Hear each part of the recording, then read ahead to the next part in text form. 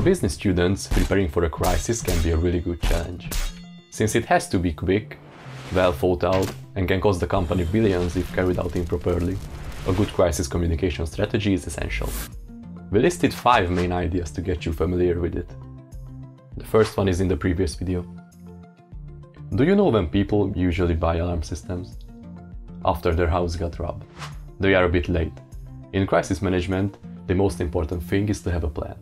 Of course, a company cannot predict every possible crisis scenario, but an overall strategy is more than necessary.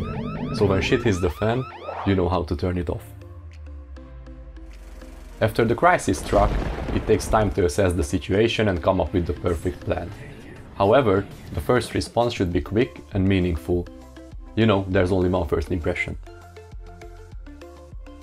After Deepwater Horizon, BP were quick to blame others for the explosion. That alone caused a PR disaster for the corporation. Even if it's not fully your responsibility, there is no benefit to pointing at somebody else. The press is likely to ask many of your employees for comments, that's why it's important for everybody to be on the same page. A consistent front communicates a strong company. Which was the most important idea in your opinion? Drop your two cents in the comments.